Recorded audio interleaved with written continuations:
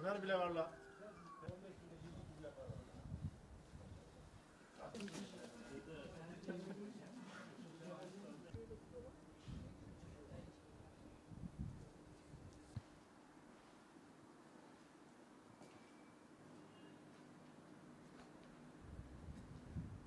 Şurası yıkılmıyor. Ha, şunlar yıkılmayacak yani.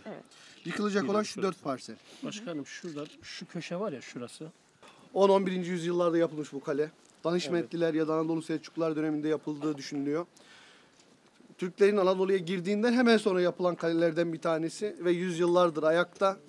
Tabii son yıllarda bir metruk durum söz konusu. Özellikle 2010'lu yıllardan itibaren kalelerin restorasyonu ile ilgili, kamulaştırmalarla ilgili bir takım çalışmalar yapılmaya başlıyor.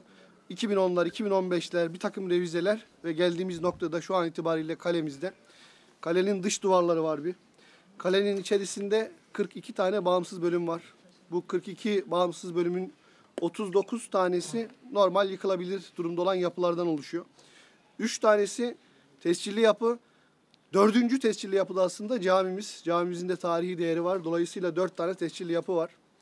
Yapacağımız ve gö- görüşmeler yapıyoruz tabii. Özellikle geldiğimiz günden itibaren e, tarihi yeniden canlandırmak, şehrin kültür hayatına katkı vermek anlamında önemsediğimiz projelerden veya alanlardan bir tanesi bizim kalemiz. Kalemizde neler yapabiliriz diye.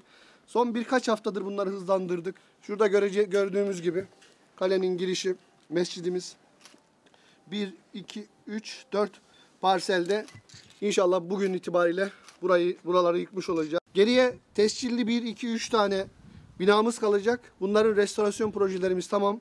Bunları da tarihi dokusuna uygun, şehrimizin kültür hayatına yakışır bir şekilde, madem Hititlilerin merkezi diyoruz, dünyanın merkezi diyoruz, ona yakışır bir şekilde bu tescilli 3 tane binanın Şimdi birazdan da belki görürüz.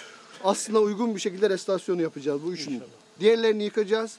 Özgün bir proje çıkartacağız burada ve proje ihalelerini de kısa süre içerisinde yapacağız. Proje ihalelerini ikiye ayıracağız. Bir kalenin dış duvarları ile ilgili bir proje ihalesi yapacağız ve inşallah tekrar o eski tarihi dokusuna kaleyi dış duvarlarıyla getireceğiz.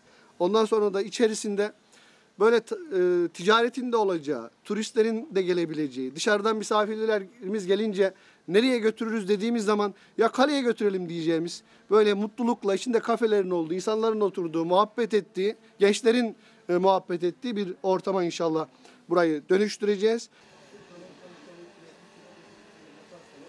Hepsi e, milletimiz ne istiyorsa, hemşehrilerimiz ne istiyorsa ben kapıyı alıyoruz. Kapıyı oraya satılmış.